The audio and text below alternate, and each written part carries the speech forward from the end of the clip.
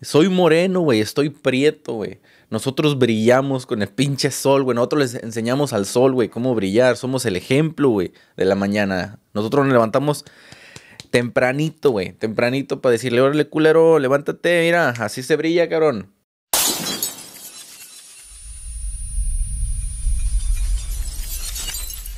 Cuando yo estaba morro, cuando yo tenía como unos más o menos de 9 a 12 años, eso fue cuando se pasó. Mi papá, este, miraba mucho un canal, güey. Y bueno, no era en aquel tiempo, no era canal de YouTube ni de Facebook, porque pues no, no sé, no sé, no pegaba eso, güey. Antes no se escuchaba eso, güey. Antes había MySpace. Eh, estamos hablando del año del caldo, güey. Eso no existía de, YouTube y todo eso, aún apenas como que andaba agarrando la onda ahí, güey.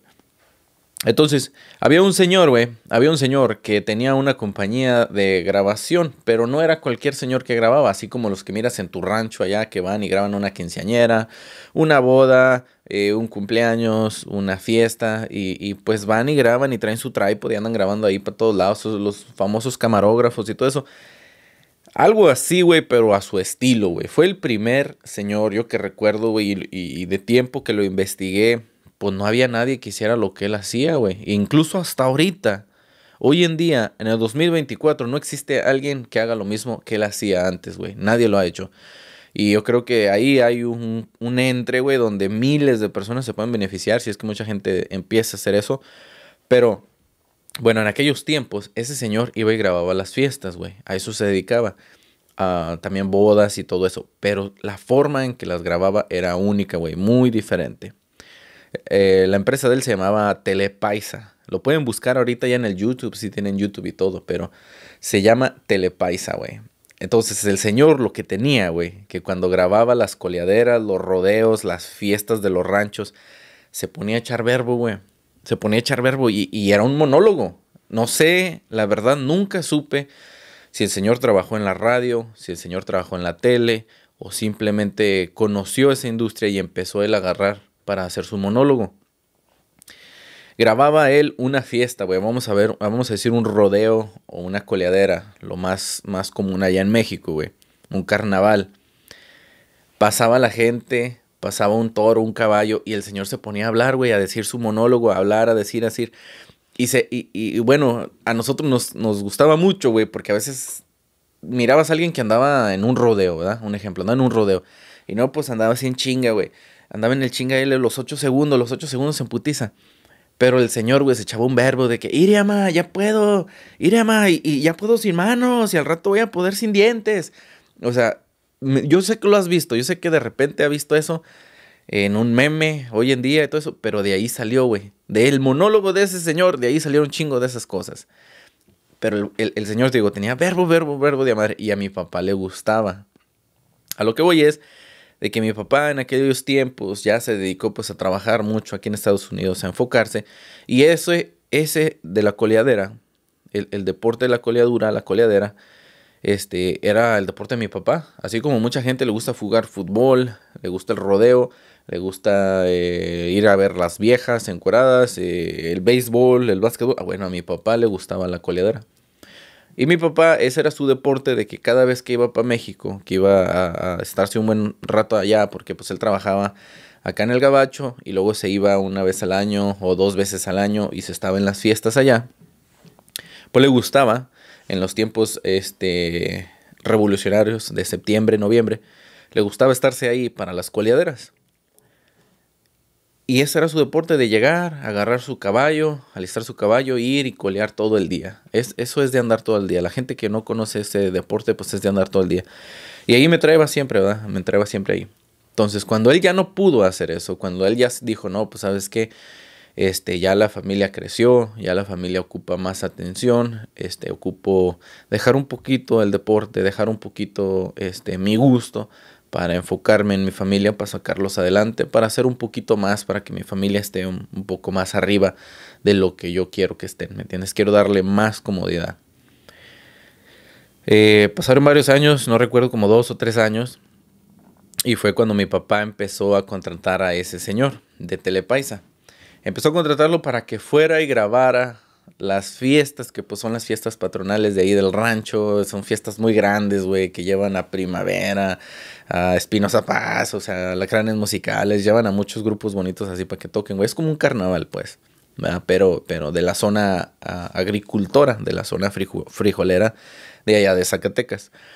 Bueno, Empieza Telepaisa y va y graba y todo y un show y, pues te graban una película, güey. Ese es el servicio de ellos, güey. Te, dan una película, te dan copias y las mandaban para acá, mi papá. Y pues como había un chingo de gente en aquellos tiempos del rancho, pues toda la gente le pedía, güey, préstemela, préstemela, préstemela, préstemela. Y de ahí se agarró la costumbre, ¿verdad? De que dice mi papá, oye, pues yo mandé a ese señor a grabar, pues para yo mínimo ver, mínimo ver el deporte que tanto me apasiona, el deporte que tanto me gustaba. Este, pero ahora toda la gente me la está pidiendo. Y dice, no, hombre, pues ¿sabes qué? Vamos a hacer eso. Y, lo vamos a hacer un pinche business. Porque mi papá, haz de cuenta que de ahí me nació. Tanto de mi abuelo y de mi papá me nació de que todo lo que tocas, todo lo que haces, aunque sea una botella de agua, tienes, tienes que buscarle la forma buena, el lado positivo de hacerlo algo chingón. Que aunque sea algo chiquito, güey, aunque sea una pinche tapadera de estas, dices tú, ¿en qué lo puedo transformar yo para hacerlo algo chingón?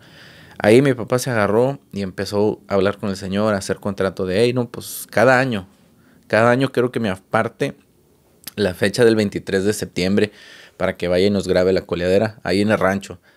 Y échese usted el monólogo que quiera y aviente y diga lo que sea desde la mañana hasta la noche. Si ocupa dónde quedarse, pues ahí va a haber dónde quedarse. Si ocupa de comer, ahí va a haber de comer. Así empezó, güey. Así empezó, ¿entiendes? Entonces ya yo al ver eso, al ver eso, al ver el movimiento que mi papá andaba haciendo y al presenciar pues al señor que, que iba este, todos los años al rancho, empezó como que a nacer eso, güey, a nacer esa, esa gotita de decir, güey, qué bonito lo artístico, ¿verdad? Qué bonito este, el, que anden grabando, el, el, cómo graban, cómo le meten efectos a los videos, porque antes eran unos efectos bien mamones, güey, antes eran unos efectos Ah, muy, muy diferentes, muy diferentes. Entonces daba curiosidad, daba curiosidad ver, güey, ¿cómo editan eso? ¿Cómo hicieron que, que, que, del caballo se parta la mitad y la mitad para allá y la mitad para acá y luego entre otro caballo por el medio? O sea, ¿cómo, cómo lo hicieron, güey? ¿Verdad? Porque pues uno no sabe. Y luego el señor, ya en su monólogo, pues empezaba a hablar, ¿verdad? De que no, que mire la coleadera que anda acá y que mira que este otro señor anda con las tortas acá y un gordito y todo. Y empezaba, pues, la cura, güey. Y toda la gente se reía. Toda la gente empezaba a reírse. De que a la vez que la pinche escuela. Y de ahí el señor empezó a agarrar, agarrar, agarrar, agarrar, agarrar. Un break para el agua, porque me, me, me canso, güey. Me canso también nomás de contar el chisme, cabrón. De ahí mi papá, ¿verdad? Pues empezó a agarrar y, y, y la popularidad, güey. Porque pues del rancho son muchos. Y en esas fiestas no es nomás el rancho de nosotros por mencionar pocos, güey, son como 10 ranchos que se juntan ahí, güey, pero es un chingo de gente. Y, es, pues es la zona frijolera, güey, la zona agricultora, donde también hay mucho norteño. O sea, la mayoría de la gente cultiva y luego ya que saca su coche sechita, deja su, su tierra trabajando para ellos allá en el rancho y ellos se vienen para acá a, pues a chingale, a chingale. Así ellos le chingan de este lado y tienen otra, una tierra que le está chingando solo automático entonces ya generan más, güey, y se empiezan, pues es la única manera que se empiezan a, poner en buen, en buen nivel, ¿verdad? y empieza, empieza de paisa, güey, a grabar todo eso. Ahí fue donde te digo, me empezó a nacer como que, güey, yo, quiero hacer eso un día y que mira el don cómo habla. Más me emocionaba cuando mi papá, pues empezaba a hablar de que, hombre, este vato es chingón, güey, pues los, ver, los, los verbos que se avienta, ¿verdad? Porque era, era el bureador y, y, es un monólogo, pues estaba muy, muy con madres. De ahí empieza, güey. Yo me recuerdo que en aquel tiempo, este, de toda esa vibración, de toda esa, de esa emoción que traes, güey. Este, yo quería una cámara, güey. Oh, yo quería una pinche cámara. Y pues nunca le dije a mi papá, pero como que así de corazonada, ¿verdad? Nos mandó unas camaritas de antes, güey, de esas, de esas de las que le abres así para un lado y traen un casetito así chiquito, güey. Güey, me agarro a grabar a todo mi rancho, güey. Ando ahí grabando el rancho con la pinche camarilla. No, y lo, bueno de esa camarilla lo que tenía, güey, era de que eran unos casetitos chiquitos que estaban muy difíciles de encontrar. Estaban difíciles de encontrar porque pues eran nuevos en aquellos tiempos. Primero eran unos putos grandotes así de VHS o HBI, algo así, güey. Eran así, güey. Unos pinches casetotes grandotes que tenían la cintota y, a veces la cintota la estaba soplando ahí. Y luego salieron unos chiquitos. Pero había un adaptador Había un adaptador que, que de esos casetes chiquitos lo podías poner en el grandote. Y nosotros teníamos una, una casetera, güey, que si metías uno de un lado, sacabas una copia del otro. Nosotros teníamos muchos de los grandotes entonces. Con mi camarilla, lo que yo, como yo nomás tenía un casetillo, güey, lo que hacía era que agarré una película que no servía, güey, una película que no nos gustaba. Y con la máquina esa le borré todo, güey, porque se podía eso, se podía hacer, borrar. Y todo lo que grababa lo metía en el adaptador, lo metía en un lado de la casetota esa y lo pasaba al casetote grande, güey. Y ya tenía yo para poder grabar otra vez. Me la llevaba a la escuela, me la llevaba a la secundaria, güey. Y no, güey, pues era un, pinche rollo, güey. O sea, yo era de esos tiempos, güey, donde grabas escondidas. Yo no grababa así que me grababa aquí en la escuela y, lo, iren, iren, iren. No, güey, era de grabar a escondidas. De que en la mochila ni mis compas me vieran que traigo la cámara, güey. Porque eran tan mamones, güey, mamones, güey, que se iban a poner a ser mamá. Y, y, y algo que yo creí, crecí desde chiquito, es a cuidar mucho mis cosas. Mi papá siempre me enseñó a cuidar mucho mis cosas, güey. De que no le preste esto a cualquier gente porque se lo va a quebrar. Nadie lo va a cuidar como usted. Si otra gente no va a saber cómo agarrar las cosas y se le va a caer y se lo va a quebrar. Entonces tenga cuidado. Y por eso no la enseñaba. Pues ahí yo a escondidas entre la mochila. A veces me la llevaba a la escuela, güey. No lo usaba en todo el día, güey. Porque pues no había oportunidad de sacarla para cámara para grabar y todo. Y hacía eso, güey. Entonces, yo lo que hacía era que grababa, por ejemplo, cuando ya estaba en la casa, güey, tenemos un caballo y, como dos o tres vacas. Y me ponía a grabar así, güey. Me ponía a grabar. Es de esas que tú metes la mano así, güey, la abrazas. Y me ponía a grabar y, miraba, la, por ejemplo, la cara del, de la vaca del, del, toro, güey. Y me ponía yo a hablar con el toro. Buenos días, señor Toro, ¿cómo está? Y, oh, pues muy bien, oiga, aquí andamos, que no nos echan agua. Y pues nos tiene acá, mire, acá el caballo, porque el caballo era bien entrenado. Tenemos un caballo que se llamaba Memín, güey. Y me acuerdo que el caballo, cuando él tenía hambre, güey, él tocaba con la pata, güey, en, en la... En, sus rejas, güey, en su portón, él tocaba paz, paz, y era porque ya tenía hambre y quería que le echaras de comer. Ibas y le echabas de comer, y era tranquilito, comía y se andaba ahí solito, se daba picadero. Era un, un caballo muy, muy, muy entendido. Y yo me ponía, güey. Y, siempre era como que la contra del toro con el caballo, que no, que mira, aquel pinche lo tienen bien cuidado y no hace nada, y nosotros acá en chinga, en la madre, y aquel cabrón se agarra toque y toque, a veces ni hambre trae, nomás que es puro pinche vicio. Ponía pues yo el empeño de querer dialogar, de querer hacer así como que monólogo, y luego lo miraba en la misma camarita y lo borraba si no me quedaba bien y lo volvía a hacer.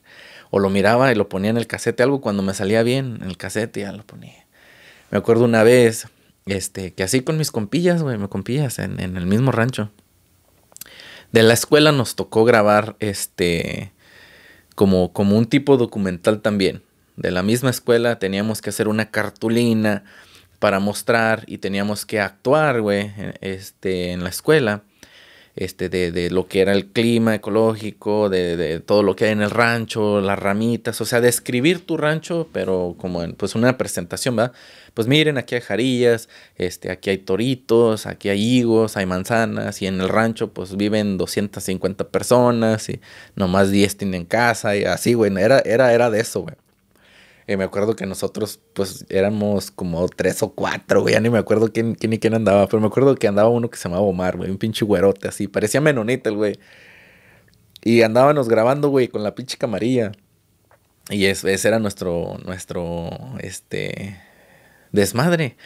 Fuimos a la, fuimos a la, ¿cómo se llama? La pinche donde checan, a la clínica, güey. Fuimos a la clínica a pedir por, a pedir condones, güey. bien morrido, güey, como de estábamos que era, güey, que, en la secundaria cuando estás en primero, en segundo, no sé cuántos años tienes ahí, como 10, 11, 12, por ahí, más o menos, no sé, güey. Entonces, vamos, vamos a la pinche, este, ¿cómo les dije que se llama? A la clínica, güey, vamos a la clínica. Y, y, llegamos ahí, una, una, una, señora que era nueva, una muchacha que era nueva, que todos queríamos morbo ahí con ella, güey, todos nos queríamos culiar a esa enfermera este, y, una señora que se llamaba Alma.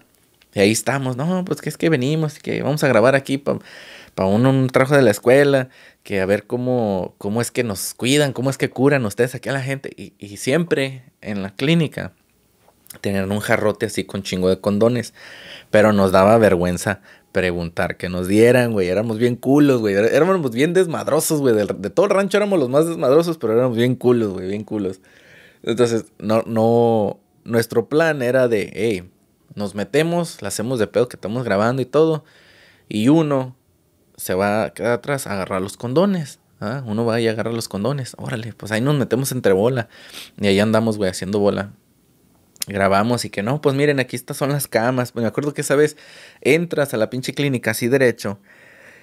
Y a la izquierda es pared y a la derecha están dos puertas y es como un escritorio donde está la muchacha sentada y luego la primera puerta está atrás del escritorio y es como una de dos camas, es como un cuarto de dos camas pero está abierto por detrás. la segunda puerta es pues para salir por este otro lado, pero ya es donde tienen todas sus medicinillas y hay otra puerta para ir para atrás como para, para el patio, no sé qué chingados es. Bueno, ahí andamos haciendo pendejos, güey, pendejos.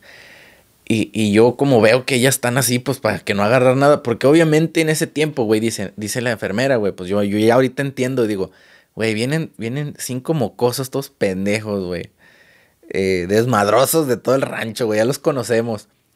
Vienen a la clínica, andan ahí haciendo desmadre, estos cabrones van a tocar algo y van a tumbarlo, van a mover algo y se va a quebrar, van a agarrar algo y se van a picar. Entonces ellas nos andan así como que checando así bien, güey, no nos podemos separar para agarrar condones, ¿va? ¿Qué hago, güey? ¿Qué hago? Le digo a un güey que se quede atrás. O sea, que haga que ya se va. Que ya se va, que se va para afuera. Que se salga de esos dos cuartitos que están atrás donde están las camas. Para afuera donde estaba el escritorio de la secretaria. Y que nosotros las vamos a sacar por la otra puerta para atrás para que nos enseñen qué hay allá atrás, güey.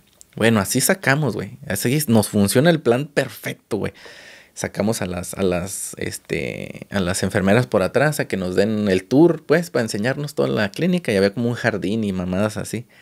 Ya nos enseña. Y ese güey, pues, oye, dice que hijo de su picho se embolsa todos los condones. Güey, era una pinche jarrota así, güey, como la de las galletas. Era una jarrota, güey.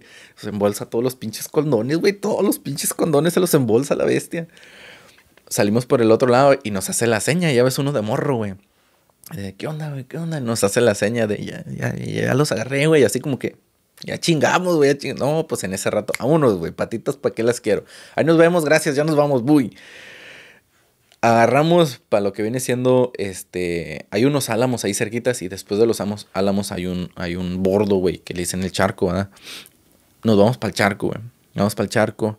Estamos allá viendo el pinche video no, güey, que saca los pinches condones, güey. No, güey, que aquí no, güey, que nos van a ver y que la madre. Porque pues de ahí, cuando tú estás en, ese bordo, güey, toda la gente, todo el rancho te ve, güey, quién está allá arriba. Ah, mira, ya andan unos muchachillos. Ah, mira, se ve que es Julano de tal. Toda la gente, güey, yo no sé qué pinche don es ese, güey, neta, fuera de mamás. Ahora, ahora, ahora ya me entró curiosidad. Porque toda la gente de rancho, güey, toda la gente de rancho te miran a la madre, güey, allá lejos de amar en una troca, en un tractor, en una moto, en un caballo caminando y saben quién eres, güey. Ah, no, mira, se parece el trocas, güey, allá, como que ahí viene, allá, güey, y, se arrima, a la verga, güey, si era el vato. Yo no sé, güey, yo no sé qué sea, güey, pero esta pinche brujería está perra, güey, ya quisiera que la usáramos acá en el norte. Pues así, güey, de lejos, pues no querían que nos viéramos. Y nos vamos, güey, nos vamos para atrás. A un, era como un corralón de vacas de un, señor que tiene unas vacas por ahí, este, por el rancho. Y ahí, güey, ahí estamos como que grabando, ¿da? Pues por si alguien llega, güey, como que grabando el pinche toro, una vaca también, ahí estamos. Estos güeyes empiezan a sacar los condones, güey, a la verga, güey, son de madre, que la chingada. Pues ahí estamos grabando, güey, con los pinches condones. Poco para no hacerte larga la historia. Sí, nos pusimos a jugar y nos llevamos varios a la escuela donde los, los inflabas, güey. O sea, yo no sé si estos ustedes hacían de morros o no, o, no era, o era nomás yo el único desmadroso, no sé, güey. Pero inflabas, güey. O sea, hay manera de, agarrar el pinche condón y lo empiezas a inflar y inflas unas pinches bombotas hacia la jerca, güey. Pero, pero bombas, güey. O sea, estoy hablando de unas madresotas, güey. Entonces, para no hacerte larga la historia, güey. Este, nosotros llegamos temprano allá a la, a la escuela empezamos nosotros y que la madre, que ayer fuimos con madres, anduvimos grabando que la chingada. Y empieza el Omar, güey, fue a inflar sus pinches condones y yo, ese güey ya infló uno, tengo, güey, y me da uno y yo dije, no, pues va a inflar dos o tres. No, hombre, güey, empiezan a inflarlos todos, él y los otros cabrones. Era, era, era, ahora ya me acordé, era Rochita, el Nukis, el Omar, este, el Giovanni y, no me acuerdo, el otro güey, este pinche, le decíamos el Chawet, el Chawet. Su puta, el Iván, güey, se llama Iván. Pinche madre, un solo al Iván, pinche, pinche Iván. Si estás viendo este video, güey. No, hombre, güey, deberíamos juntarnos todos otra vez, pinches desmadrosos. Nomás me acuerdo que, le, que el Omar, güey, el Omar le puso ese apodo. No les voy a decir por qué le puso el Chowet, güey. Pero el Omar le puso a, Iván, güey, le puso el show, güey, de, de, pinche apodo. Alguna gente lo va a buscar y va a entender y va a decir por qué. no mames, güey, no me aguanto la risa, güey. Es que está bien mamón el por qué le, por qué le puso así, güey. No mames, sí, pinche madre. Güey, lo bonito de acordarse, güey. Lo bonito de acordarse de de esas cosas de morro, güey. Pero el pincho Omar fue el que bautizó al Iván como el Chawen. Bueno, estos pinches inflan todas las pinches condones, güey. Ahí estamos en la escuela y pues nosotros éramos bien desmadrosos con las morrillas, güey. Las pinches morrillas andábamos ahí bajándoles calzones y todo, güey. Y ahí traemos a las morrillas, güey, haciéndoles así, oye, ven, y les tocaban los labios, güey, pues ya ves que los, los condones tienen un aceite, güey. Y, y luego les enseñamos el condonzote. ah, me la chupates. Y puras pinches mamadas así, güey. Puro pinche desmadre. Llega. Llega la. La maestra, güey. Que nos tenía ese. Ese. De grabar, güey. Ese, ese, ese programa, esa tarea. Y dice, ok, a ver, ¿ustedes qué hicieron? Pues nosotros no llevamos cartulina ni madre. Todos llevaron cartulinas y cositas así, güey. que unos, unos, no me acuerdo quién pinches llevó un, como un altar de niño Dios, güey, con sus vaquitas y pinches mamadas. Y todos llevaron sus pinches cosas bien chingonas y nosotros, eh, nosotros grabamos, güey. Ahí en los salones tenían tele, güey, y una casetera.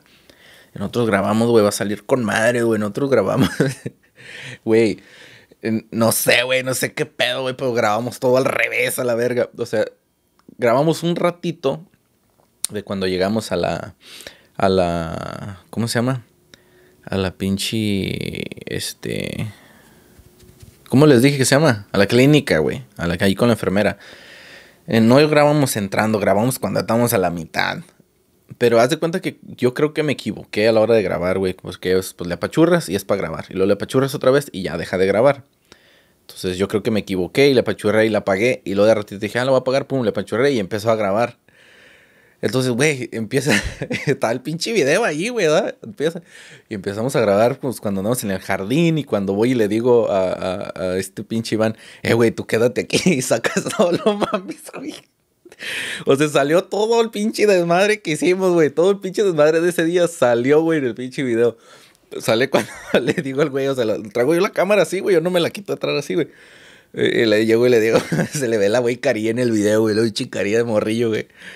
Y le, y le, digo, eh, güey, ahorita me voy a ir por allá, güey, y, y, tú agarras todos los condones. Y, y él la caría así de, sí, güey, yo los agarro. Pero sale todo eso, güey, y haz de cuenta que empieza todo el pinche salón a reírse, güey. Pues empieza a reír todo el salón, pues nos quemamos solos, güey, y mera tele ahí con la maestra. Y, y luego sale cuando vamos caminando, ahí la pinche cámara un desmadre. Y luego sale el corte y es cuando estamos con el toro. Eh, luego esa cámara, esa cámara me acuerdo que se la llevó Omar y en la noche el güey estaba ahí moviéndole y se está grabando solo, güey.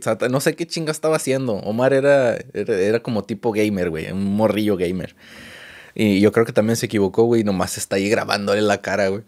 Y no, güey, fue un pinche cagazón, güey, de la maestra. No me acuerdo cómo se llama esa maestra, güey, una pinche altota que bailaba este, nos metió un cagazón. Pero haz cuenta que de ahí, güey, toda esa historia, pues les digo, son, son cosillas que uno se acuerda ahí entre el camino. Eh, de ahí me nace, me nace el, no, pues Simón, vamos a hacer esto, vamos a hacer lo otro, vamos a, a moverle así. Des, poquito después de ahí fue cuando yo hago mi grupo musical. Y pues de la música te nacen un chingo de cosas, güey. Te nacen, yo ya traía todo lo de mi papá, de que pues no, güey, le gustaba el rollo de, de pues hay que ir a grabar, de que él, pues su, su, su pasión eran las coleaderas. Em, y, y, empezaba el señor, ¿verdad? El señor de Telepaisa. Entonces empieza nuestro grupo y haz de cuenta que yo continúo con eso. Yo continúo como que, no, pues quiero grabar, quiero grabar, quiero... Y empieza a crecer, güey, empieza a crecer, empieza a crecer. Me vengo para acá, para, para Estados Unidos, y empiezo a tocar con un señor que se llama Martín Lagalla. Mucha gente sí lo conoce, mucha gente no. Empiezo a ser músico para él para Paraíso Tropical. Y nos trae, güey, nos trae por todo Chicago, nos trae por todo Arkansas. Él toca mucho para allá, para aquellos rumbos. Y empezó a conocer gente y empezó a preguntar, pero en aquellos tiempos todavía no hay nada, güey. Todavía no, pues la gente que, que va a grabar así grande, chido, pues pinches camarotas que te pones aquí en el hombro y así, güey. Las camarillas chiquillas esas, pues no era algo, ya, ya había muchas, pero no era tanta, tanto rollo así chido. Entonces, es cuando yo empiezo, ya cuando ando con ese señor, conozco mucha gente de Chicago, que es cuando yo empiezo a conocer, güey, este, cómo se edita, el que se tiene que grabar la voz, se tiene que grabar el video, se tiene que haber luces, empiezo a conocer un poquito más, empiezo a entender más o menos cómo está lo de la radio. Y conozco un señor, güey, un señor que ya ahorita, en un tiempo sí le hablé mucho, pero ya, ya, ya no. El señor está en Arizona y él era locutor allá en Chicago, güey. Y él conocía todos los grupos, pues me decía, si trabajó en la radio es porque pues van todos los grupos, los entrevistan en la radio o hablan con ellos por teléfono. Entonces él me dijo, me, me, me empezó a, enseñar, güey, clases de voz, de cómo controlar tu voz. Dice, hay que saber hacer ejercicios con tu, con tu galillo, con tu voz. Este, y eso te ayuda a tener un mejor pick cuando estás hablando, güey, a tener una mejor forma de tú poder contar tus historias. Tus historias siempre van a pegar cuando les des la buena tonalidad. Porque pues sí, obviamente hay gente como la gente de rancho, güey. tenemos tías así, güey, que puta madre me emputan cuando las escucho. Eh, están contando un chisme, güey, de, de, tanta desesperación que están ahí contando el chisme. Hablan para atrás, güey. Esa señora, yo no sé qué, no sé cómo le hacen, güey, tan. Pero es el, el, vicio, güey, el vicio de querer estar contando un chisme, güey. Y tú estás escuchando el chisme, no, que la vecina de la prima y del amigo de allá del otro vecino. Y, a la verga, güey, cállate, casi le te dan ganas de meterle un vergazo. Cállese, tío, a la verga. Porque no respire, chingado. O sea, la estamos esperando para que nos cuente bien el chisme. Pero respire, chingo, respire, no, no, no, no se desespere, aquí estamos. Y, eso es lo que al Señor se, se refería, ¿verdad? De que hay mucha gente que sí tiene buenas historias, pero pues no, no, no, no conoce ni su propia voz, su propia eh, eh, esencia, que no puede contarlas, güey. Empiezo a aprender todo eso, güey. Pasan los años, güey. Pasan un chingo de años, güey. Yo me acuerdo que mi primer cámara así chingona, chingona, chingona fue una GoPro. En aquellos tiempos, güey. De las primeras. Creo que era la 4, güey. Oh, sí. 1, 2, 3, 4. La, GoPro 4, güey. Me la compro. Y es cuando yo tenía un Jeep deportivo y tenía mi morrito. Eh, entonces empiezo a grabar por todos lados porque pues quiero presumirle a la gente que traigo un jeep deportivo este y que yo y mi morrito nos paseamos acá rato. En aquel tiempo estaba ganando bien, güey, tenía un chingo de tiempo libre. De, no, pues grabo y lo edito y así. Y ella andaba con la GoPro, güey, una pinche camarilla así, güey, chiquitilla, y ando grabando, ando grabando. Y entonces ahí es, es donde empieza la práctica, desde aquellos tiempos. Mi niño tenía como como cuatro o cinco años, güey. Entonces ya son, ya va como para 10 años más o menos. Como 10 años que empecé a practicar, practicar, practicar. Y, yo recuerdo que grababa un chingo, güey, con la GoPro. Con la, con la GoPro. Eh, grababa un chingo con la GoPro. Alguien me va a hacer bullying aquí porque me equivoco de decir las cosas al revés. Grababa un chingo con la camarilla esa. Este, pero yo traía las ganas, güey. Las ganas, las ganas, las ganas, las ganas. Eh, ya después pues pasé a cámaras y luego pasé a cámaras más profesionales. Eh, fue cuando empecé a tomar fotografías, hice mi estudio de fotógrafo. Luego iba al rancho, güey. Fíjate lo bonito de uno querer salir adelante. O sea, te digo, todo eso lo traigo de mi papá, güey, de, de, de, él entender, ¿me entiendes? Entender de cómo él me indució todo, toda su magia, güey. Que yo le digo, es una pinche magia, pa que, ahora, ahora yo lo entiendo, güey. En aquellos tiempos, desde morro, a nosotros nos enseñaban a manifestar. Todas las mujeres de mi rancho, güey. Mis tías, eh, mis primas, mis hermanas, mi mamá, mi abuelita. Todas las mujeres que yo para mí les, digo mis mujeres, en el rancho, con las que yo crecí, güey. De morrito nos enseñaban a manifestar, güey. Morrito siempre nos decían, en las tierras este, se cuidan, se cosechan y, vas y checas los chicharitos que nazcan y si hay algo mal quitas las hierbitas y si sientes que va a llover y te tapa la brecha la, la, con las patas, mijo, muévele, muévele un, un palo para que entre la brecha y entre la agüita y se rieguen. Entonces nos decían, cuando usted lo riega, empieza a crecer, hay mejores cosechas. Y una vez al año usted siempre se tiene que mejorar. Eso, eso me acuerdo que mi tía, mi tía Jeros me lo dijo, güey, de, de, de que cuando se siembra para tener una buena cosecha en las tierras, tienes que aprovechar la buena cosecha que tuviste ese año y subir de nivel, güey. Y luego trabajas otro año y cada año es llega la cosecha y subir de nivel. O sea, un, paso, un paso, un paso, un paso. Ya con el tiempo aprendes, güey. De ahí te digo, de morro te enseñan, aprendes y dices, bueno, sí, ya era, antes era cada año, ¿verdad? Yo manifestaba cada año, crecía. Ahora es cada mes. Cada mes voy creciendo, cada mes ya pasó un mes, ok, pues un nivel más para arriba, pum. Y ya ahorita después lo empiezas a ver a que cada 15 días, cada semana, todos los días, o sea, es algo que tienes que agarrar, tienes que agarrar, tienes que agarrar con el tiempo. Y te lo digo porque mucha gente no lo sabe. El otro día que hablamos en TikTok, mucha gente ni en cuenta de, eso, güey.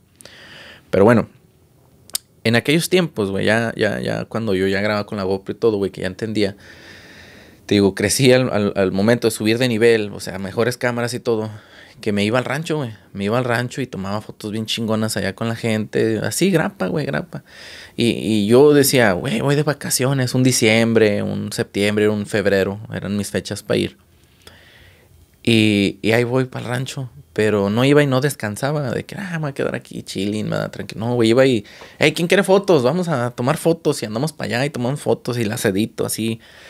Y eso fue lo que me enseñó a mí a cómo editar, a cómo editamos ahorita, güey. El, meterme de fotógrafo, saber hacer retoques, saber hacer manipulaciones, todo eso, ya me enseñó a editar a cómo editamos ahorita, a iluminar como iluminamos ahorita, a cambiar escenas a cómo las cambiamos ahorita. Que tapa la verga, pero ya es algo mejor de lo que estábamos antes.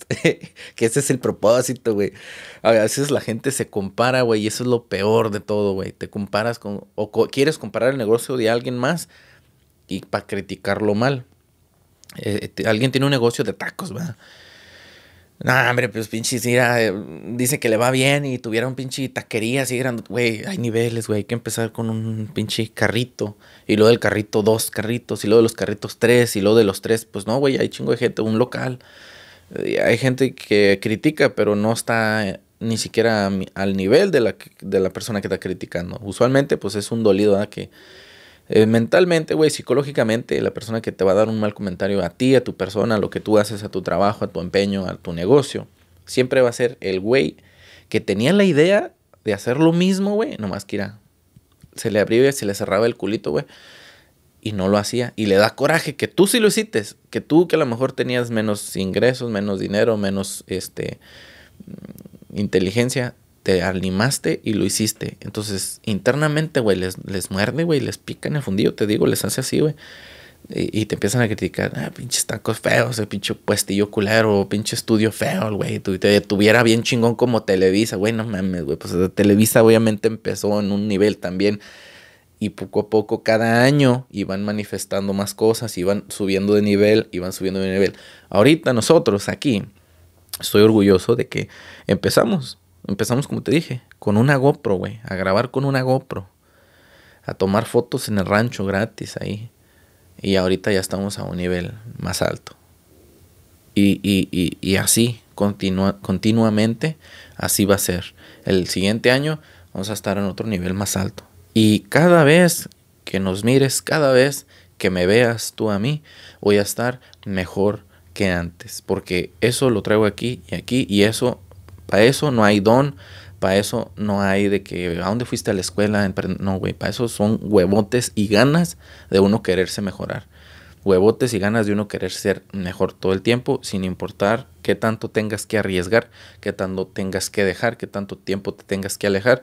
Tú lo que quieres es subir de nivel cada vez, cada vez, cada vez. Por eso, a toda la gente que me critica a mí, a toda la gente que viene y echa pinche hate y la vivoreza, hay gente que viene ahorita, güey, como ese cabrón que está allá atrás vienen nomás a fisgonear, güey. Les cae uno bien gordo, güey. Pero vienen y están pendientes, güey, de lo que uno hace.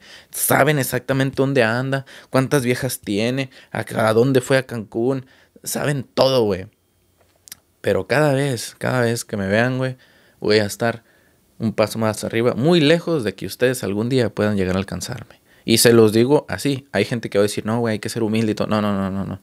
Yo conozco lo que soy, güey. Si yo me caigo, me levanto otra vez y voy para arriba, la verga.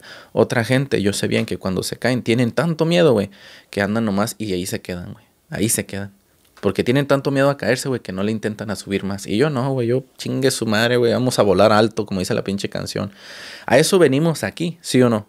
A eso venimos aquí, a darle en la madre. O donde quiera que estés, si estás en Colombia, en Guatemala, en Honduras, en El Salvador, güey, que un día vamos a ir al Salvador. Porque El Salvador, la gente que no sepa, es el Dubai latino. Pero donde quiera que estés, güey, en México, en pinche Rusia, a eso va uno, güey, a mejorarse, a salir adelante. Y no tanto porque, ah, güey, pues me fui a vivir al pinche Japón, güey, quiero mejorarme mejor.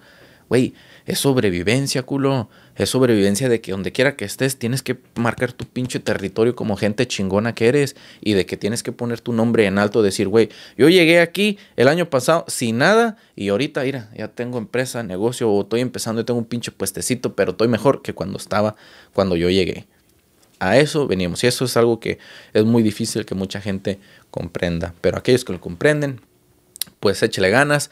Me despido de las historias por el día de hoy. Ya los voy a dejar porque llevamos como 40 minutos. Pero nos vemos mañana. Igualmente aquí en la mañana entro. Casi échele chingazos. Y no se le olvide que mañana va a ser un día bien chingón. Nomás no se apendeje.